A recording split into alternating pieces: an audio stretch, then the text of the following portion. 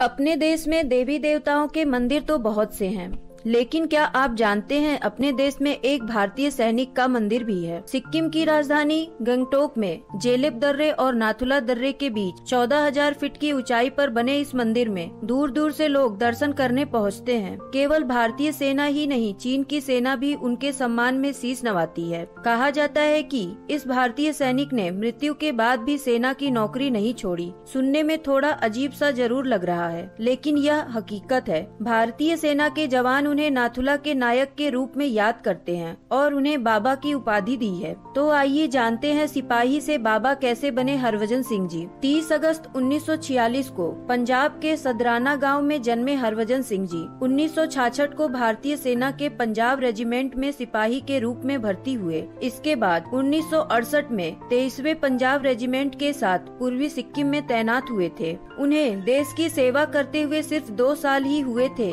कि एक दुर्घटना में वह शहीद हो गए। दरअसल जब हरभजन सिंह जी 4 अक्टूबर 1968 को खच्चर पर बैठकर नदी पार कर रहे थे तो वह खच्चर सहित नदी में बह गए और दो दिनों तक उनका कुछ पता नहीं चला। तब उन्होंने अपने साथी सैनिक के सपने में आकर अपने शव वाली जगह बताई। साथी के बताए जाने पर सैनिकों ने वहाँ जाकर शव को प्राप्त किया और उनका अंतिम संस्कार किया। कहा जाता है कि मृत्यु के बाद भी बाबा हरभजन सिंह अपनी ड्यूटी करते हैं और चीन की सभी गतिविधियों की जानकारी अपने साथियों को सपने में आकर देते हैं। उनके प्रति सेना का भी इतना विश्वास है कि उन्हें बाकी सभी की तरह वेतन, दो महीने की छुट्टी आदि सुविधा भी दी जाती है। हालाँकि अब वह रिटायर हो चुके हैं। दो महीने की छुट्टी जाने के लिए ट्रेन में उनके लिए टिकट बुक कराया जाता है और तीन सैनिकों के साथ उनका सामान और उनकी फ़ोटो उनके गाँव भेजी जाती है। फिर इसके पश्चात दो महीने बाद उन्हें वापस लेने जाते हैं लोग। जब भी भारतीय और चीनी सैनिकों के बीच किसी मामले को लेकर मीटिंग होती है तो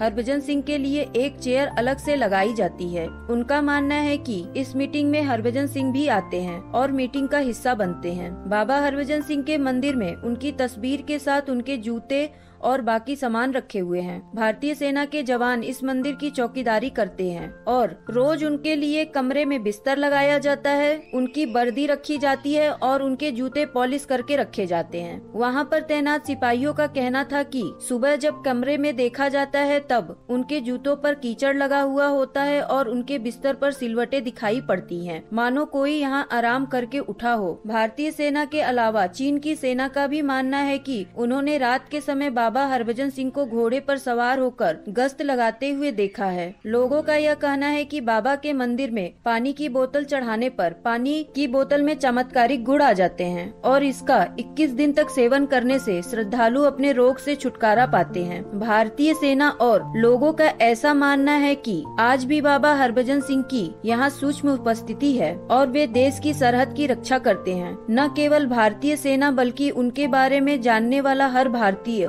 उन पर गर्व करता है।